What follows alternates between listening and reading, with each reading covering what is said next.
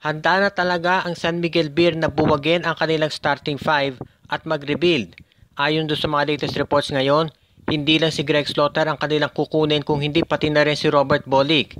At handa silang pakawalan ang dalawang big men plus ang dalawa nilang starters para magawa ito. Siguro dahil ayaw na nilang mabatikos dahil palagi nasasangkot sa mga lopsided trades, ang balita ngayon, ite-trade ng San Miguel Beer ang apat na players para kay Greg Slaughter at Robert Bolick ito ay sila Alfonso Gotladera, James Sena at dalawang guards na pwedeng kabilang dyan si Alex Cabagnot at si Chris Ross. Ang unang balita kasi, isa lang daw dito kay Cabagnot at kay Ross ang mate trade at yung isang guard ay pwedeng si Paul Samar o kaya si Von Pesumal. Pero ngayon, meron ng mga balita na baka pareho na i-trade ito si Cabagnot at si Ross dahil ang gustong gawin na raw ng SMB ang maging top guards na nila ay itong si CJ Perez at si Terence Romeo. Kumbaga, magkakaroon na ng passing of the torch at ang magiging main guards na ng SMB ay si Romeo at si Perez at ito nang si Ross at si Cabagnot ay ililipat sa Batang Pierre. At ang dalawang nilang big man na kinuha itong si Gotlatera at si Sena ay dadali na sa Northport para kay Greg Stotter. Itong si Greg Stotter ay nagpost sa Instagram kung saan sinabi niya na ready daw siya for anything at para nagpapahiwatig na kung siya ay matrade kung sakasakali ay handa na siya para doon.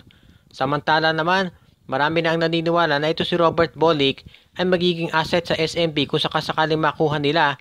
Although marami nga nagsasabi na medyo may question dyan dahil ito ay kagagaling lamang sa isang ACL injury. Alam natin na ang mga players na nakakaroon ng ganong injury ay matagal ang recovery. Kaya tignan na lang natin kung ito ay mangyayari at kung makababalik pa si Bolick doon sa dati niyang laro. Kung sakasakaling matuloy nga itong trade na ito, makikita natin na tuloy-tuloy na ang pagre-rebuild ng Beermen at ito ay gagawin nila para makapag-compete to sa iba pang malalakas na teams ngayon sa PBA. May isang player ng Alaska Aces na hindi pa nakapaglalaro sa kanila ay gusto na raw kunin ng Japanese Basketball League. At ang tinutukoy natin ay si Alain Bulanadi. Si Bulanadi ay kasama doon sa 2019 draft na kinuha ng Aces kabilang na yung ibang special cadets katulad ni Isaac Go. Pero sa ngayon, Meron daw mga reports na lumalabas na maganda na ang ino-offer ng Japanese team dito kay Bulanadi para iwanan ng PBA at doon na maglaro. Of course, ang rights ni Bulanadi ay nasa Alaska Aces. Although hindi siya naglalaro ngayon para sa Aces, ito ay on loan lamang para sa Gilas Pilipinas. At asahan natin na kapag natapos na yung tour of duty ni Bulanadi sa Gilas ay maglalaro siya para sa Alaska. Pero ang tanong nga ngayon, ang mangyari kaya dito kay Aldin ay parang katulad nung nangyari ngayon dito kay Kiefer Ravena na nasa NLEX pero alam ng lahat na gustong maglaro sa Japan.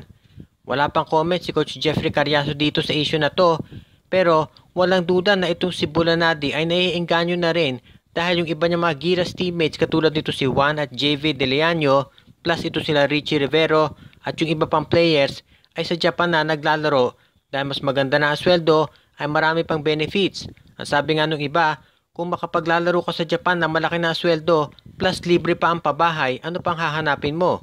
Kaya marami nga nagsasabi na baka ito si Bulanadi ay eventually sa Japan din mapunta. Pero alam natin na yung rights niya ay nasa Alaska Aces. So kung hindi payagan ng Alaska ito si Bulanadi na pumunta sa Japan, ay wala itong magagawa at kailangan maglaro para sa Alaska. At pwede lang siya mag-request ng release sa Aces kapag nag-expire na yung kanyang kontrata. Sa ngayon, busy ito si Bulanadi do sa pagre-recover do sa kanyang huling injury at ang balita nga ay nagsusutap ito sa gilas kung kinakailangan at on call naman siya. Although wala pa ring linaw kung ito ay maglalaro para sa Alaska Aces sa darating na Philippine Cup. May malaking desisyon na kailangan gawin si Coach Tim Cone pagdating sa lineup ng Barangay Hinebra. Sa kasalukuyan ay meron silang 18 players at kailangan tatlo dyan ay maalis dahil 15 lamang ang pwede sa PBA. At ang matunugang pangalan na nababanggit na maalis daw dyan ay itong si Arte La Cruz, Raymond Aguilar at itong si Ken Salado. Pero mukhang meron ding mga lumalabas na balita na mukhang maganda na raw ang ipinapakita nito si Arte La Cruz sa practices at baka ito ay mabigyan pa ng chance na makomplete yung lineup nila. So kung itong si Art de la Cruz ay ipapasok do sa lineup ng Barangay Hinebra, kailangan magbawas sila ng isa pang player at madalas na nababanggit ay itong si Jesper Ayaay. Alam natin ito si Ayaay ay kinuha sa free agency ng Barangay Hinebra dahil gusto raw ni Coach Timko na magkaroon ng isa pang gwardya para madagdagan yung kanilang rotation at para naman mabigyan din ng pahinga itong si L.A. Tenorio at si Stanley Pringle. Pero sa ngayon kasi, dahil ito si Brian Enriquez ay nandiyan na sa lineup ng Gene Kings, baka ito na ang humalili kay Tenorio at kay Pringle, kaya baka ito si Ayaay ay mawala na ng pwesto. Of course, alam natin nandiyan pa ito si Scotty Thompson na naglalaro din na pwedeng point guard o kay shooting guard kung kinakailangan. Kaya marami nga nagsasabi na si Coach Tim Con ay namimili ngayon either sa mga forwards katulad ni Aguilar, ni De La Cruz o kaya baka ito si Ayaay na ang tanggalin. Sa ngayon, wala pang comments Coach Tim Con tungkol dito pero mukhang ang balita nga ngayon, pinag-iisipan niya talaga kung alin dito ang mas nararapat sa Barangay Hinebra. Alam naman natin kasi na ang Barangay Hinebra ngayon ay loaded na sa lahat ng spots. So, kung mananatili man ito si Jesper Ayaay dito sa Barangay Hinebra, spot minutes lang ang ibibigay niya dyan kung kinakailangan. Pero sa ngayon, ayon kay Coach Tim Cone, ang focus talaga nila ay makumpleto yung lineup as soon as possible dahil gusto nila na pag-open ng Philippine Cup ay ready na ang Barangay Hinebra. Magkakaroon daw ng isang crucial board meeting ang PBA Board of Governors sa mga susunod na araw at tatalakayin nila ang mga napakaraming issues na hinaharap ngayon ng liga. Sa ngayon kasi of course alam natin na ang top priority nila ay yung opening ng PBA na naka-schedule na sa July 18. Dahil dito marami nga nagsasabi na ito ang gagawing priority at kung matuloy ang opening ay masasabi na tagumpay na yan para kay PBA Commissioner Willie Marshall at to sa Board of Governors. Sa ngayon, ang isa pang issue of course na tatalakayin nila ay itong tungkol sa Japan dahil napakarami ng mga players ang nag-iisip na doon na maglaro. Of course, naibalita natin kahapon na itong si JV De Leano plus ito si Richie Rivero ay kinukuha na doon plus ito si Justin Baltasar. At ang latest report ngayon, ito si Kobe Paras ay gusto na rin daw kunin sa Japan at maganda daw ang offer. Alam natin na ang mga yan ay tinatawag na mga top prospects sa darating na draft. At kung sila ay maglalaro sa Japan, ay hindi na sila makasasali sa PBA. Of course, ang isa pang issue dyan, baka hindi lang yung PBA ang maapektuhan kung hindi maski na ang Gilas dahil ang mga players na nabanggit ay naglalaro din para sa Gilas Pilipinas at sa ating national team. So sa ngayon, iyang bagay na yan ay tatalakayin na ng PBA para maayos ito at syempre doon na rin pag-uusapan yung pagtaas ng sweldo ng mga PBA teams para makapag-compete na sa Japanese basketball. Ang isa pang tinitignan dyan ay kung papayagan ba nila yung mga players na ma-release na para makapaglaro sa ibang bansa. Iyan kasi ang sitwasyon ngayon dito kila Bobby Ray Parks, dito kay Kiefer Ravena at sa iba pang players na nag entertain ng posibilidad na maglaro sa Japanese Basketball League.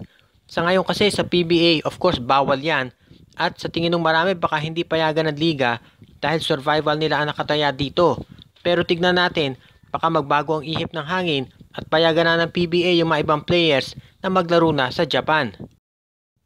Shout out kay Fritz Esperancilla, Adrian Guevara, Joshua Giray, Patrick Onabia, Emil at Edmond Alcanices, Art Castro, Jason Mendoza, sa Hermosa at Yanson family, Raymond Amuranto, Jerry Gomez, Joseph Pineda ng Pampanga, sa Jonah Abogada family, Val Mercurio, Leo Guaping Talavera, Amo Marlu, Alexis Teterala, RL Pinoy, sa Rainier Cabalquinto family, Janba Garcia, Dennis, Elena, Laila at Bonbon Lansang sa Santillana family ng Nueva Ecija, Christian and Lyra Arahan, Rico Olarte, Renzo Felix family at Son Mirano family, Lenod Ogiatans, Jose Huntilla, Dexter Domer, Rodel Saldana, Andrew Anyosa, John Cantos, Eduardo Santillana, Len Santillana, Brian Andres, Jonathan Aquino, Marvin Cruz at Eredat Boys, Dion Mercado, Jonel Alagon family, RG Bueno, Raven Banyes, Judy Villarosa at Joel Levantino.